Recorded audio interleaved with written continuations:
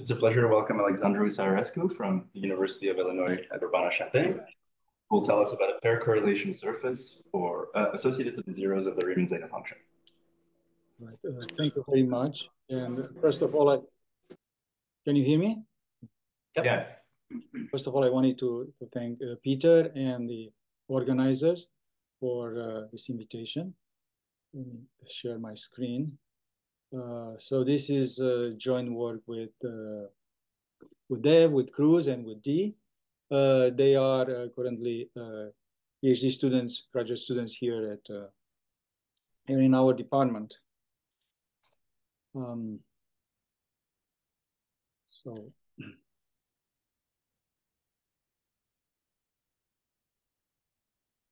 So this is about um,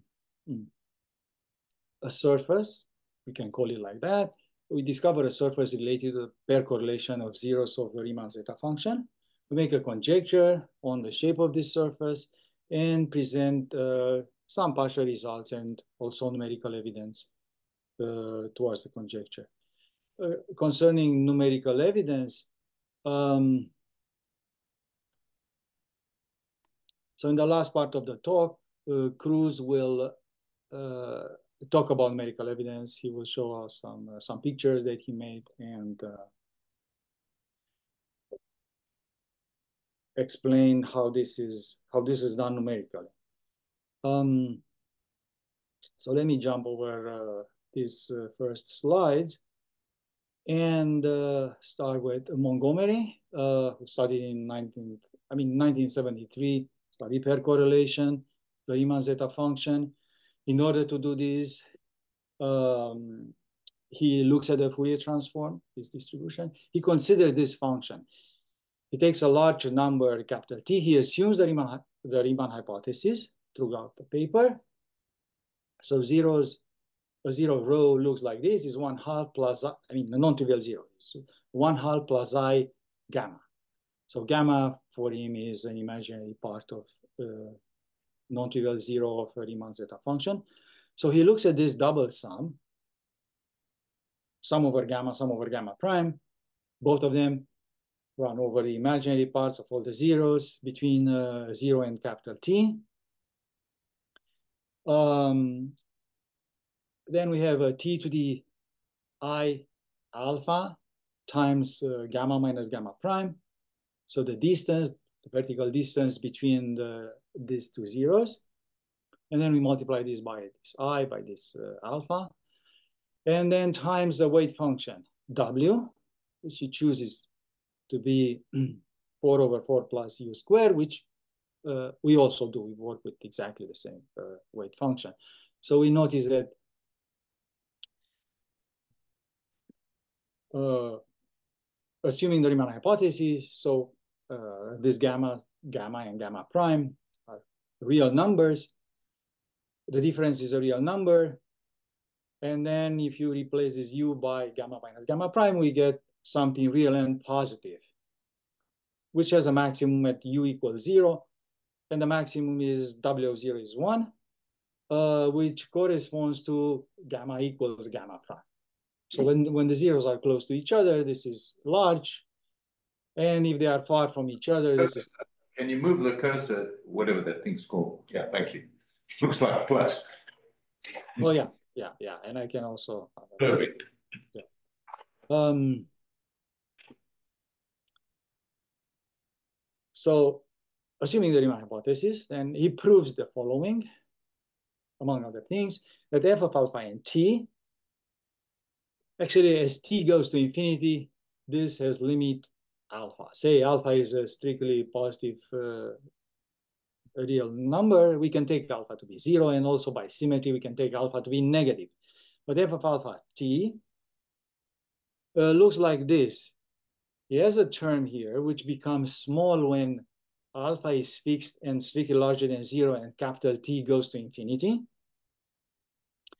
The other part is fixed, it's alpha, and there's a little o of one means that this is a quantity that goes to zero as t goes to, as capital T goes to infinity. And as a result, it's uniform in this, uh, in this range. It's very difficult to push this range to the right. by symmetry, you can study exactly the same way what happens with alpha is between minus one and zero. So in this interval, minus one, one. But if alpha is larger than one, we don't have uh, results like this. I should mention a, a recent uh, result of Baluyot, Goldston, uh, Surya and uh, Turnage-Butterbaugh. That's similar to Montgomery's result. That's very recent, 2023. Uh, but this doesn't assume the Riemann hypothesis, right? So in this case, you have this uh, function W that it's not necessarily real or positive. But it matches Montgomery's definition in the case when, or, uh, if you assume the Riemann hypothesis, it matches the, the previous definition. So of course, it will match the uh, the limit alpha here. You also have in the, or they also have this first part, Montgomery. And then a big O, it, it, tells us a bit about how it decays as a function of capital T. And again, this is uniform in zero, one. I should mention that when alpha is small, as a function of t, uh, this part becomes large. If we think about alpha is zero, then t to the zero is one. And then you have this one here and you multiply by log t. So, so this is huge. Is log t is much larger than a fixed, our fixed uh, alpha, which in that case would be zero. So this happens for, for alpha zero or alpha very uh, close to zero, depending on uh, the size of capital T. But in numerical computations, this is important. So this will be seen in some, some pictures. Um, and uh, this is what uh, Montgomery's conjecture is.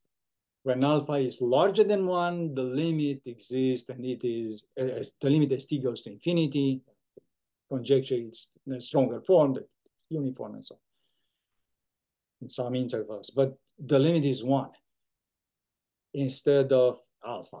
So there is a change in behavior here. And so the, uh, the f of alpha is the function, f of alpha is alpha, and then when alpha is less than one, and then it's one when alpha is larger than one, at least a conjecture. And then lead, this leads to uh, Montgomery's pair correlation conjecture, where we're, uh, uh, so in uh, pair correlation problems, we look at the sequence, we look at um, um, pairs of elements of the sequence that are, say, between an alpha and a beta times the average gap between these elements. And the correlation, okay, this alpha has nothing to do with the previous alpha. So that. Uh, so if you take uh, two, say, positive numbers, uh, alpha larger than zero and beta larger than alpha, then if we count the number of pairs, this is counting the number of pairs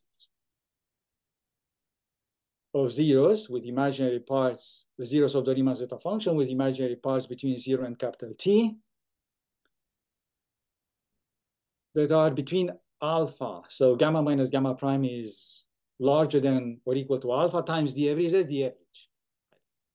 We know we have asymptotic formulas for the total number of zeros there. Yeah. So we can know what, I mean, we know what the average is. Then between alpha times the average and beta times the average, then the limit st goes to infinity. This limit is an integral. So that's the conjecture, is the integral from alpha to beta of this function. And it's this is a remarkable conjecture. The, the phenomenon is very remarkable. Um, if we go back here, I just wanted to point out the fact that if instead of, say, the sequence of the zeros of the Riemann zeta function, we take a, um, a random sequence, or we take um, many other sequences of interest in, in number theory. For instance, if you take the sequence of primes and you do the same thing, it's not going to be this integral. It's going to be the integral from beta of the, fun the, the function inside, which is the pair correlation function, will be just the constant function equal to one. And this happens in a uh, so-called Poisson distribution, so in a Poisson process. Although that is still a conjecture in the case of primes, uh, but in many cases, in some cases it's proved. In some cases we have conjectures, but in for most sequences of interest in number theory, so to speak, uh, sequences of interest, we don't have this thing. It's going to be the pair, the, the pair correlation function is one, and this integral is just beta minus alpha. So what we have is Lebesgue measure. Um, very quickly go over this. Uh, as Dyson observed. And then there's a long story, but I jump over the story to tell you something about what we did. Um, so I'm sure that you know this very well. The Gaussian unitary ensemble. And is a big interest if you think about random matrix theory and so on, and the connections with the Riemann zeta function and connections with more general, more general functions. But you see the same function that we saw earlier in that integral that appears here. And not only that, but we have very uh, extensive, say, numerical computations done by Odlyzko, and then the distribution actually match perfectly. Um, I was thinking that perhaps there are uh, students in the audience, perhaps uh, there are people who have students, students who are thinking about, maybe there are some interesting problems here that we can think about when they write a thesis or something. I'm saying that I can see already that there's lots of different directions I can go. One can go with this thing. And then I would encourage any uh, such a in interested uh, stu student, first of all, to study Montgomery's paper. Then also have a look at what we're doing, see if it makes sense. Uh, and then study uh, Peter's uh, work from the 90s, late 90s. His joint work with uh, and his joint work with Nick Katz, where you can see that instead of pair correlation, one is able to treat higher level correlations when you look at three uh, zeros that are close to each other and so on. And also you don't need to fix an L function like we do in this work. But you can talk about families of L functions and so on. So there is a lot more that actually people can, can at least think about. We are only doing in, uh, in our, uh, say, paper uh, which we are currently writing. I don't know if you can see uh, this thing, if you can see it on my screen. Yeah, we have something in progress that there's like 40, I don't know, 40 something pages. There's details done here and it's far from being finished. So I'm just saying in, in advance, if someone is interested in doing this, there are lots of actually details that you need to you need to, to, to be able to work out in order to get any results. Anyway, uh, let's see what we do here. So I look at, let me go back to the function uh, that Montgomery uh, studied is f of alpha and t. I look at the actual definition. So we see we have a double sum here, and I look at the inner sum. That's what I want to see. The inner sum is a complex number, which doesn't have to be a real number, and it's not real in, in practice. If you take the double sum, yes, you get the whole thing, and then uh, Montgomery showed that f of alpha is real, no problem. But here you have uh, complex numbers, and they, in some sense, we can say they, they know a little bit about the pair correlation. At least if we think about these complex numbers, uh, their arithmetic mean, so their average, is actually our f of alpha, alpha t. So for each zero between with imaginary part between zero and capital T, for each fixed zero gamma, we have an inner sum that depends on gamma. So we have a, we compute the inner sum, we get a complex number. I'm interested in the real part, especially because as I said, I'm, I'm interested in some quantities that keep under control or are able to say something about the actual pair correlation conjecture. And we know that this quantity is real, so I, I want to look at the real parts of this, right? Okay. So real parts of these sums. Uh, let me go back to this next slide. And that's the real part, okay? Uh, gamma is fixed. We also fix gamma is a zero, or sorry, an imaginary part of a zero between zero and capital T. T is large and alpha is fixed here. and I look at this number, I take the real parts, and I'm curious about how yeah, this I have a distributed. Someone said something I didn't hear. Please, please repeat because I didn't hear. The, you've, you've built this function W into your story, what seems Yes. to be, uh, you'll have to say in the end that whatever you're doing doesn't depend on W, I assume. Yes. This the- weight function is Yeah, not, okay, uh, yeah, yeah, yeah. First of all, that's a that's a mistake. This depends on W. This is uh, uh, W. It should have been S sub W of this thing. Okay, but let's see what happens. Yeah, because what happens should be independent of W in our uh, opinion. Uh, and uh, I look at these numbers. These are now real numbers once we take, and there are lots of them. Uh, Cruz uh, work in some of these pictures, at least the one that I show. I only show two pictures, and he worked with uh, a million zeros, one million zeros of the Riemann zeta function.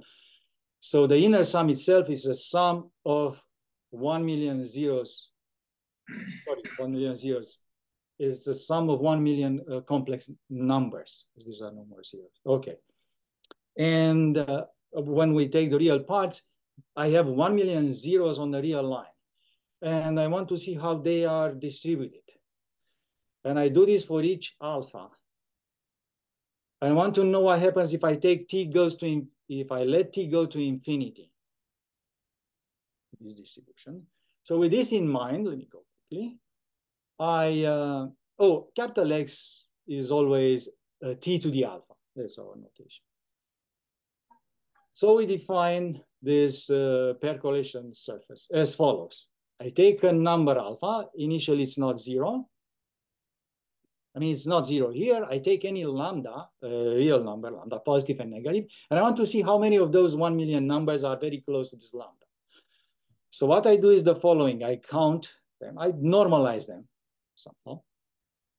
These, uh, these numbers, and I count how many of them in this capital A of t, it counts how, basically how many of them after this normalization are very close to lambda, are in actually in an interval lambda minus delta, lambda plus delta. I call this A of, of lambda delta because lambda is a fixed number of interest. I want to see uh, the density of these points around lambda. Or for what lambdas I have points there. And then uh, uh, delta is the, the length of or two, two times delta is the length of the interval here. So I look at the I look at the number of such zeros for which those points are in the interval. I divide by the total number of zeros, which is n of t, and I take the limit as t goes to infinity if it has a limit. So then, if it has a limit for this particular alpha and lambda, the limit as t goes to infinity, and if moreover, after I take this limit, there is a second limit which exists. The limit as delta goes to zero. So if I shrink this interval around lambda, I take smaller and smaller, and I still have points. And I have points in such a way that I divide by two, two delta, which is the length of the interval. I divide by the length of the interval. If this limit exists, so the second limit exists, then we call this g of alpha and lambda. So, so then I'm thinking that for some pairs of numbers, of real numbers, alpha and lambda, maybe this limit exists, and it gives me then a point in space at altitude or height, g of alpha and lambda. And I'm curious, what do I get? Some, if I do this for each alpha and lambda, do I get like a cloud of points in space? Does it look like a surface? How does it look? If this g was a smooth function, then yeah, then I would say that would be a surface. Yeah g of alpha and lambda. In any case, we define it as follows. I take E1 to be the set of points with alpha not zero in R minus zero and uh, lambda in R anyway, for which g of lambda is, is defined. So those two limits, limits exist. And then I extend it uh, by continuity if there is a possibility to do such a thing, but at least by definition, I call E0 the set of points on this vertical line when alpha is zero, this is alpha, it is zero, and lambda can be any real number. If this limit exists, the limit now when alpha is not zero and alpha goes to zero, uh, and the point alpha lambda is in E1, which I don't have any idea how what that set is. But if the limit exists, I call it G of zero and lambda. So E0 is the set of points for which the limit exists. So then I take the union, E1 the rest of the, the plane and E0 is part of this vertical line where, where the function uh, is defined. So those two limits exist. So then I have a function in G defined on E. I have no idea what G is and I have no idea what capital E is, but as values in R. And I look at the graph of this function, and if I call it a pair correlation surface associated with the zeros of the Riemann zeta function, as if to say that, uh, as Peter mentioned, as if to say that the W doesn't matter. But anyway, just call it like this. Um, so then Cruz made a picture. And it looks like this. My first two reactions. My first reaction was that, oh, I like it a lot. It looks to me like a, like a mountain actually on a sunny day because you see this light, uh, a lot of sun there. You see a light upstairs. I see a little bit of a white here, maybe white spots. It looks like snow. Anyway, I really like it. But then my second reaction was, hey, wait a minute. I don't know that I can trust this picture because you see it's very smooth. And in my opinion, with 1 million zeros, you won't get a picture that, that that's as smooth as this.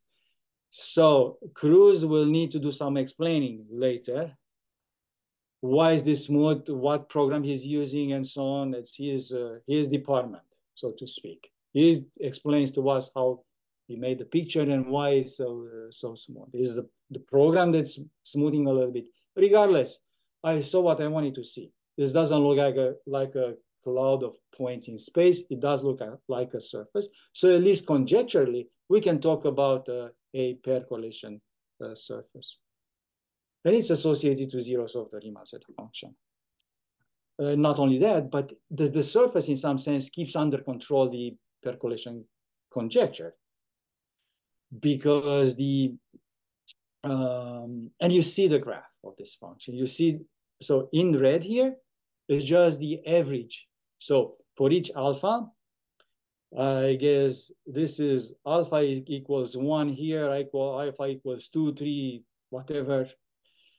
But the function f of, f of alpha that we saw earlier, the Montgomery's function f of alpha, which was alpha in the interval zero, one, and constant equal to one, conjecturally, when alpha is larger than one, is this. So, so this, this red part is the graph of that, that function. And then when alpha is negative, it's by symmetry, you get that. And when alpha is close to zero, I don't see anything here. And I'm not surprised, and I mentioned this earlier. So, uh, because, because you have this, this first term in Montgomery's um, theorem, that has an influence when alpha is very small compared to t. Now t is a million in this picture, depending. Yeah, log of a million is not that big. Let's put it this way. So uh, what uh, Cruz uh, did, he provided us with part of the graph like this. And I and you see this. This is so actually it's two two surfaces here here because this is interrupted here on the left side and it's interrupted on, on the uh, uh, right side by design. But he will show us some other pictures where he also works with alphas with smaller than alpha. When alpha is smaller, that's not a problem. I mean, we are able, if you if you recall uh, Mon uh, Montgomery's theorem, is able to work with alpha between minus one and one. The difficulty is if he tries to push this past one. That would be the difficulty in our case as well. So we are a bit more able to, to work with alpha small. I just don't put it here because uh, eventually for any fixed lambda, the limit as capital T goes to infinity will take care of the first term. Because if you recall, you have a T to the minus two alpha. Alpha fixed, T goes to infinity, that disappears. And we have a clean limit that's alpha. And then we take this other part of the surface is just the limit after you compute the whole thing. If we had a formula for the surface, I would just take alpha go to zero in this and complete this to a surface. Okay. Another thing I noticed, this looks to me like a Gaussian. This is not finished here. So he stopped the computation about, uh, about this place. They would continue a little bit more to the left, a little bit more to the right. And looks like a Gaussian to me, but also it looks like whatever it is, it looks the same if I take different values of alpha, at least when alpha alpha is one, two, three, and so on, they look similar to each other. So I'm thinking that this must be just some universal curve. Hopefully, that doesn't even depend on that on that function on that weight function w. And if that's the case, then it has to be the Gaussian that we know. Somehow, so my interpretation of what's happening here is that there is a Gaussian that's trying to move and uh, let's say a Gaussian curve. that's trying to move in space, create a surface, but in such a way that it's moving along along the pair correlation function. Yeah. And if, but if that's the case, then I should be able at least to state a conjecture what the surface is to give you the equation. So we make the following conjecture. The first conjecture is that um, for any alpha, say not zero, we look at what we did before. But now I count here. Yeah, I'm, I'm trying to say that this is a, for, for each fixed alpha, I have a Gaussian distribution. And so in this conjecture, I, I fix a lambda, but I don't look at only those, those numbers after normalization that are close to lambda. I look at those numbers and recall I, I took real parts. So these are real numbers, but they can be positive and negative, can be very large and very small. So I take all, all of them in the interval from minus infinity to lambda, all these ratios, and I compute their number, say numerically, and because I have, I already know that I have this shift coming from Montgomery's pair correlation function. This function minimum of one and alpha, if you think about that, it's exactly our function because it's it's alpha when alpha is in zero, one, and if alpha is larger than one, it's the minimum is one. So it's it's our function. So we shift by that, that function and add an, uh, the lambda here, and then I count the proportion because I look at all of them, I divide by the total number, and I claim that in the conjecture, I mean, I claim, we made a conjecture because that's the only thing that came to mind because they, they look like, uh, like that. Uh, that has to be the Gaussian, and then it has to be the limit after our normalization. We have this one over square root two pi, and the integral from minus infinity to lambda of this thing, e to minus u square over two du. That's the first conjecture. And then the second conjecture based on this, uh, first conjecture, so consistent with this, now I take any alpha and I really look in a short interval. So based on that conjecture, if I take now a lambda one, lambda two, look in the interval between them and allow them to approach each other and, and look at that conjecture, I would get this thing. If I take the limit now, the earlier limit, if I take those, those, those those one, 1 million numbers that what, how, how many we have there, the number increases. How many of them fall in an interval lambda minus delta, lambda plus delta. And then I divide by their numbers. I will look at the proportion. The conjecture, our conjecture is that, yeah, this limit exists as t goes to infinity. And then if I take the second limit and divide by the, by the length of the interval here, the second limit exists eh, but that's our function g. Yeah. And the limit is this, 1 over square root 2 pi. It's very simple function. 1 over square root 2 pi e to the minus, and you have this fraction i, fraction line, and you don't have e to the minus uh, lambda square over 2, but you have lambda, you have this shift. It's lambda minus the mean, minus the pair correlation there. So if that's the case, then the pair correlation surface, we say, oh yeah, and then here you can take the limit. No problem, you can take the limit as alpha goes to zero. So you can complete this surface with that that you can complete it on that vertical line as well when alpha is zero to get a, a true surface in space. given by this equation. So it's the graph of this function g, defined on r squared now, that's our conjecture, with value in r and given by this. Oh, maybe we should, because this is very easy, we should compute some values here. And uh, Cruz will show a table. I will uh, look at the picture that he provided me with the actual surface given by this formula to see if it looks like that. And it does seem to me that it looks like the other one, except that it's completed now, no interruptions in the surface. Now, uh, we have a result, or we have a couple of results. And um, so the first one is, again, assuming the Riemann hypothesis. The second result is, is you know, unconditional. We don't, don't need to assume the Riemann hypothesis. We're able to say some things, but the ranges are smaller in which you can say some things. So theorem one is as follows. Assume RH, then uh, take any sequence alpha j going to zero. Um, as slowly as you want. I don't want it to go to zero, but out of necessity, I have to take it to go to zero because otherwise I'm not able to prove anything. But if I take a sequence that eventually goes to zero slowly, then we can do the following. Um, so we can take a sequence that goes slowly to zero, but is still, uh, uh, the, the alphas are large enough. So then the first term in Montgomery's theorem uh, is annihilated completely. So indeed, the, the result is about what happens with the actual pair correlation uh, surface. Then we say that there is an increasing sequence. Normally, you would say there is a sequence alpha j and the sequence tj, in increasing sequence tj. So then if you take for this alpha j and that tj, tj to the alpha j, you look at the numbers, you subtract, of course, the shift which is the minimum, as we said, is the, the pair correlation function of Montgomery. The minimum of alpha and one is alpha because we are in alphas, our alphas are small, smaller than one, they will eventually go to zero. So it's exactly alpha j, but this is important. You take this, remove that, and we do prove that the limit is indeed exactly as we conjectured.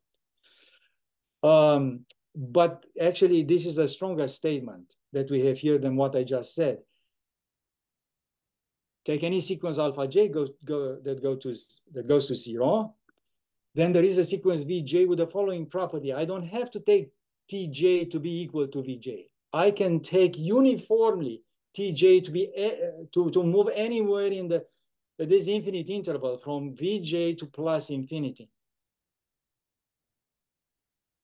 So then any sequence with tj larger than vj, and then we do have this limit. Um, so in some sense, theorem one is, we can say is as close as possible to conjecture one while failing to prove any single case, even a single case of the conjecture, because to, to prove one case of a conjecture, you need to prove the conjecture for a, one particular value of alpha. We are not able to do this. We are forced to take alpha to go to zero. And I'll tell you in a moment uh, why is it that we are forced to let alpha go to zero? Um, yeah, but we can do we can do so as slowly as we want. And one can establish unconditional results uh, towards conjecture, but the ranges are, are uh, far weaker. For instance, you, you have something like that that looks identical to that, like a Xerox copy of the previous uh, theorem, let alpha j be any sequence, and this is unconditional. Uh, we can prove this not uh, uh, under no assumption. We don't assume a Riemann hypothesis here. But now, of course, even to define this, you define it with a rho there, because we don't know that rho is one half plus i gamma. Rho is uh, some beta plus i gamma, or some, some number. We don't assume that the real parts of these non-trivial zeros are, are equal to one half. But then we can still consider those numbers. We can take the real parts, and then uh, we look at uh, all zeros with imaginary parts between zero and uh, and uh, capital T or TJ here. Subtract uh, exactly alpha j as we know the shift with uh, uh, Montgomery's function and count how many are less than lambda and we get exactly that limit again. And you see it doesn't depend on the I say it doesn't depend on Montgomery's uh, weight function, but uh, but actually I am I'm lying in the sense that we didn't work with the general function. We only work with this function, expected, expect, uh, and we expected that this will not depend on the function, and it didn't. It gives me the Gaussian. So unless by pure luck, it's uh, this surface, it's, you have the Gaussian moving only for uh, Montgomery's pair correlation, which I don't believe it can happen uh, then yeah, as you can see that the, that the surface is independent of this. And, and actually the computation can be done without the weight function. That's, that's very clear. So if I think about the proof now, yeah, one can do the proof. Yeah, no problem. I mean, this, you can translate this to a sum of the primes. Oh, yeah. Uh, and, uh, and what is it you're saying about, what are you inputting about prime? Yeah. So, so, uh, yeah P Peter uh, thought that it's a good idea to spoil uh, the surprise by telling everybody how it's done. Yeah. Okay. Okay. Um, I just I just wanted to. I, I will go to that immediately. What we do about uh, the primes. Um, the, the the difference here is that we don't have the only difference between this theorem and the other one, which is which is conditional assuming RH and the ranges, is that you don't have tj to d alpha j, you get log of tj to d alpha j. So, the, so results are exponentially better, so to speak, if you assume RH. Yeah, but the result is the same. I mean, it's the same phenomenon, the same uh, Gaussian distribution. Yeah, so as is usually the case, uh, we study this by looking at moments. All right. So what we do in order to do that, I I will I will actually stop very quickly because I, I really wanted us to look at some some pictures and see what uh, uh, what uh, Cruz has to say. But let me only give an idea. Again, if, if someone really wants to, to look at all the details, uh, we we have the details here in a, in, a, in the paper. But here I just wanted to say one thing. If we want to get the distribution by using moments, then you need to do all the moments and you need to get the moments, the moments to match exactly these after some normalization, exactly those moments that appear in the, in the Gaussian distribution and normalize properly. And you need to do this for each alpha. And then you just subtract that alpha. And then the same constants need to appear always. Uh, what did for all the odd moments, this this is should be zero. You need to get zero, and you uh, and this double factorial is just the product of odd numbers from one up to n minus one. Odd numbers. Uh, instead of yeah saying anything about that about this proofs, let me actually go back to exactly the place where. Um, um, Peter said something about how you attack this. What Montgomery would do. Let, let me actually go. Can I go quickly?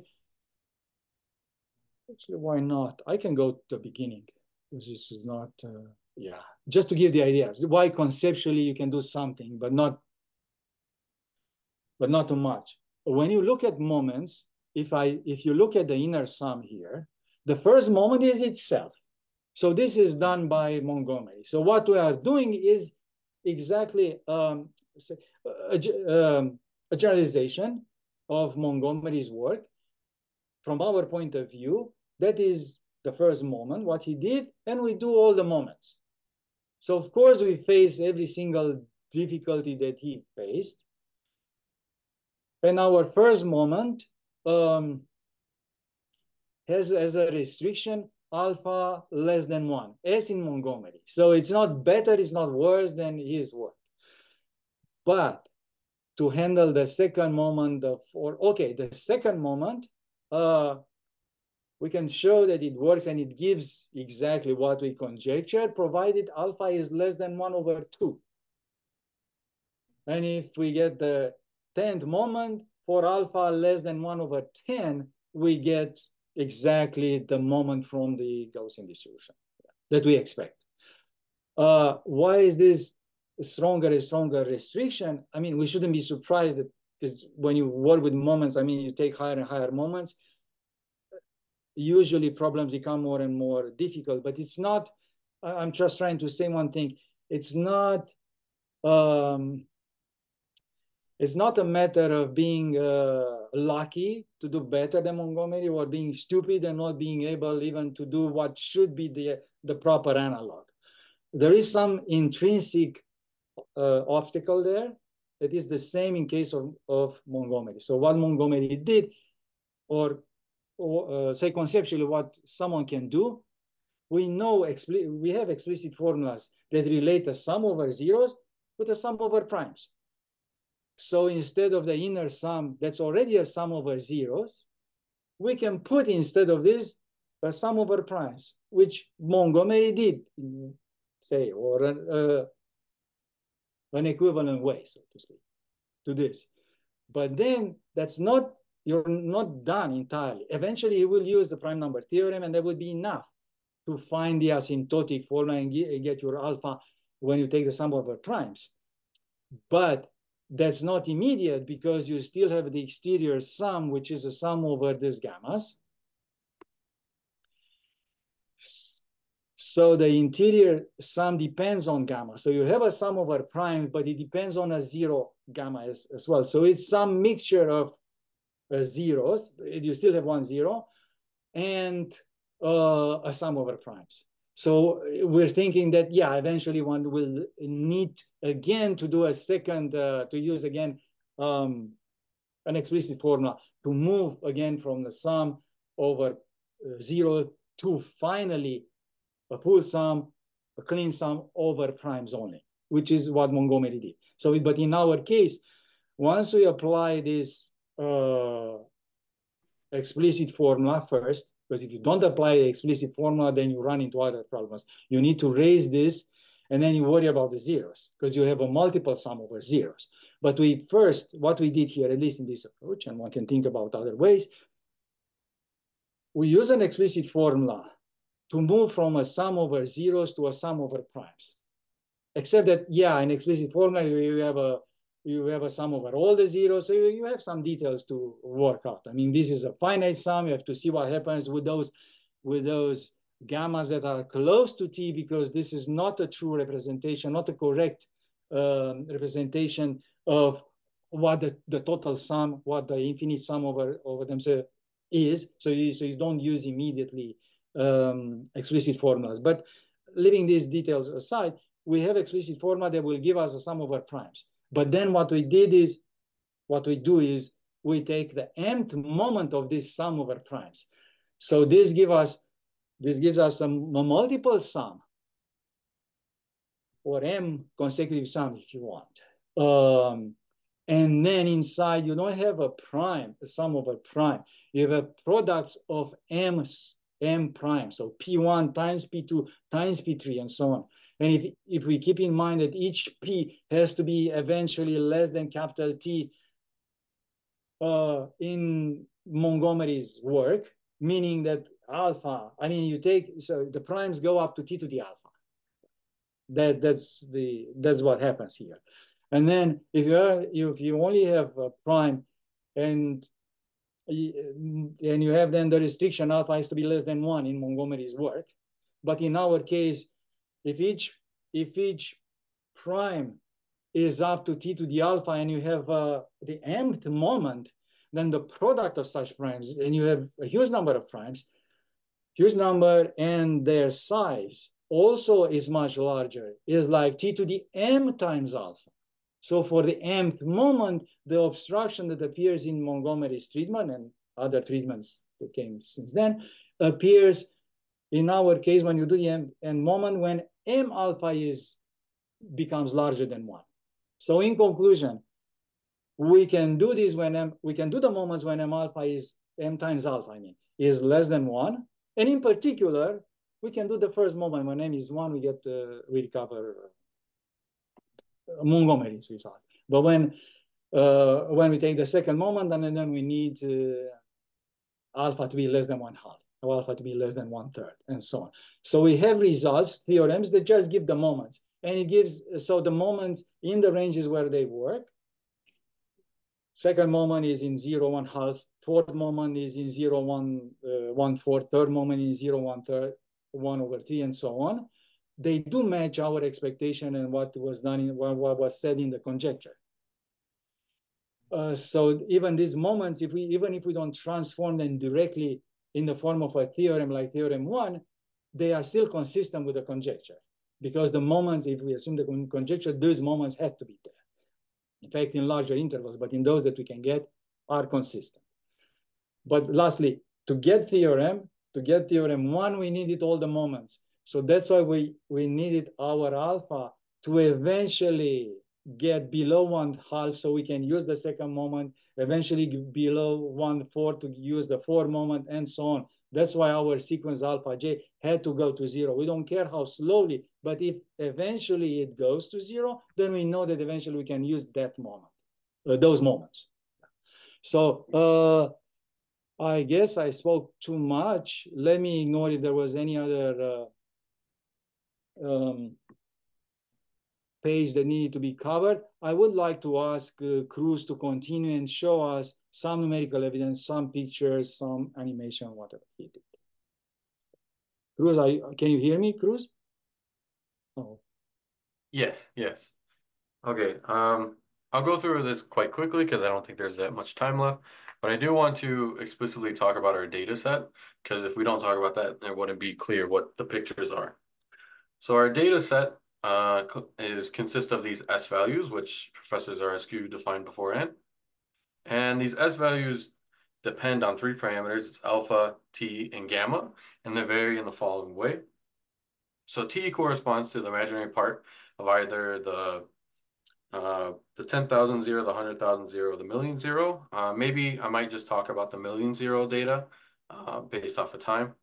But uh, yeah, and then we have the, the gamma corresponds, of course, to imaginary part of zero um, of zeta that's less than t, and of course it's positive.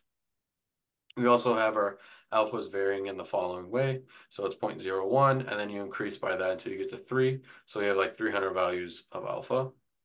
Uh, the way I like to think about this data set is that you fix the t and you fix the alpha. And what you have for each of those points is you have uh, NAT values of s. And then, of course, they all could um, cor uh, correspond to a zero of zeta. Another cool thing is that since this is even and alpha, we also have, you can really think of this as being plus or minus, uh, and all these values here because we get those for free because it's even. Just quickly mentioning that these zeros were pulled from Platt's database on the L function. So right here. Sorry, sorry. This yes. data just got a list of how many zeros? So, so how um, many decimals in each zero? It's uh, the for the zeros that I use. it's uh, 16 significant digits that's used uh, that I use for it. But the one that Platt has is way more extensive. Um, but in terms of you know our computations, we have that it's accurate up to 16 significant digits. So I think that's for this that that's like within 10 to the negative ninth, I think, uh, for our data set that we used. Okay, thanks. Mm -hmm. So um, I'll skip a little bit of this, but right here, what we have plotted, we have Montgomery's function plotted. Um, the t here is corresponding to the million zero. And so those are the red dots. And you can see here's the shape. And of course, Zaharescu uh, mentioned that when alpha is close to zero, uh, these red dots go up and they're around like log t, which in this case is like 10 or something like that. So these orange dots is um, the result of Montgomery's theorem. And you can see that the shape of the Montgomery's function is very well um, explained by this theorem, sharp decrease, linear growth, and then a flat lines after one. And then this is what we expect in the limit, and you can see that. So this picture right here, the animation. Um, it's an unnormalized version of the one that you saw earlier that Professor Zaharescu talked about, about the mountains. So what's going on right here is we have an alpha dimension uh, a lambda dimension and a z dimension, which corresponds to the probability. So alpha, um, what you can think of what's happening is you have a slice. It's like you imagine the slicing this and looking at the alpha dimension. And what you're doing is you're taking, in this case, it's a, we're using the million zeros of zeta, the first million.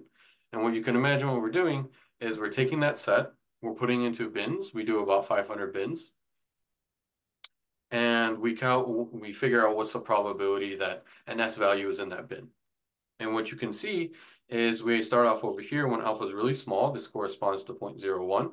Um, it looks like a skewed normal distribution. But as you move, move over, and there's a change of behavior that happens at 0.2, where it starts to look more normal. It's no longer looking that skewed. And as you go on, the standard deviation is increasing, as you can see here.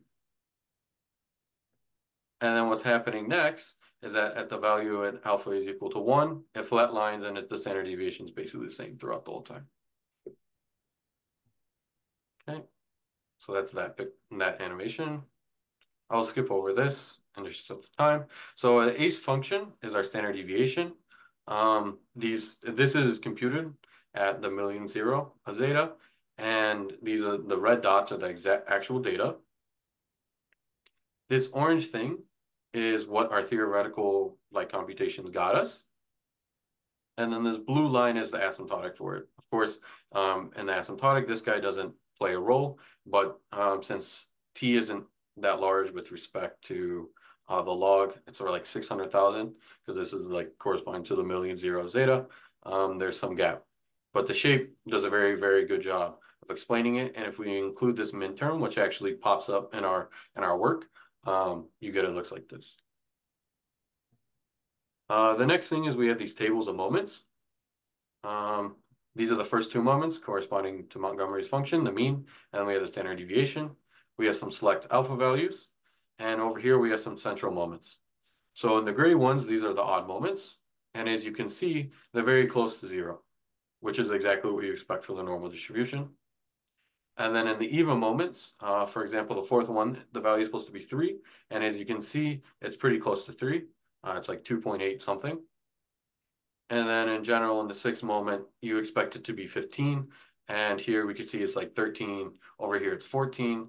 But um, in general, like when your alpha is small, it's not as close to what you expect. And that's because of like the first term of Montgomery's function, if you think about it. Um, is kind of controlling what's going on when alpha is small, rather than the alpha term that uh, is in Montgomery's theorem. And so the last thing I want to show is uh, animation of what Professor Zaharescu showed earlier. And the, well, the way that this graph differs from the previous one, the one I showed earlier, is that this one's normalized to have um, standard deviation uh, one and the and the mean to be just Montgomery's function. The reason why you would want to do that is because the standard deviation goes to infinity because it's like square root log t. And then also there's this gap right here, which I will pause it right here. This gap. And so this point right here, this corresponds to alpha point two. And the reason why we put the gap here is because there's a change of behavior there. That's when like the first term of Montgomery's theorem is controlling uh, the value of f of alpha rather than alpha itself. Yeah. Sorry for the quick, if there's any questions, please let me know. And uh, yeah.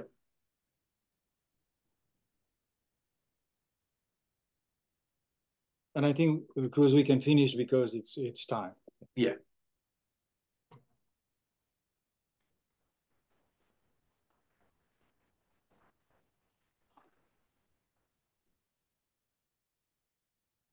There any questions?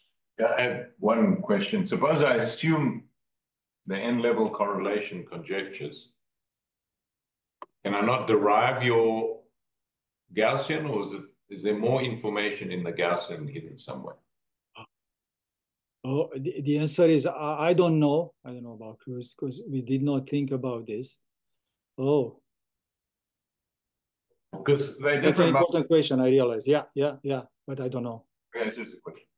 Um, I may, uh, since you haven't, uh, I mean, your function seems to have more information. You you you took a function which you're supposed to square. You've kind of taken one half of it and looked at the statistics. So maybe there is more information in your function. Yeah. Uh, I, I I thought only a little bit. I wasn't able to get it from the n level correlation. Yeah. Okay.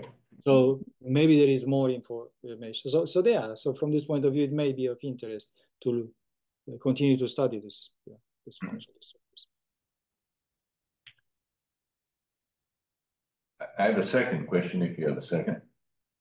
Um, there's something called murmurations that I learned about a few years ago. Are you familiar with that? What that means?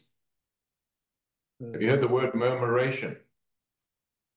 No. Okay, can you explain in? Uh... okay, that one, but. Uh, or, in, or we talk separately if you want. Please. I'll just say what it is, and, and maybe you can actually study it here. It's a feature where in these say one level density or these places like in Montgomery where you have a change in the behavior as you go through one, you can try and understand how that change, how that behavior changes explicitly. It's like uh, when alpha is less than one, it's, it's uh, linear, then it becomes, uh, this function is continuous. So it's less dramatic than in the low lying zeros where the function is discontinuous. So you get a function which is one value when you're less than a particular value and another value when you're bigger than that. And you could try and understand if there's a behavior of oh. how transitions from the one to the other. Yeah, I, I, and and you and some machine learning people found this out. Anyway, it seems like you're not familiar with it, but I'll send you some stuff on it.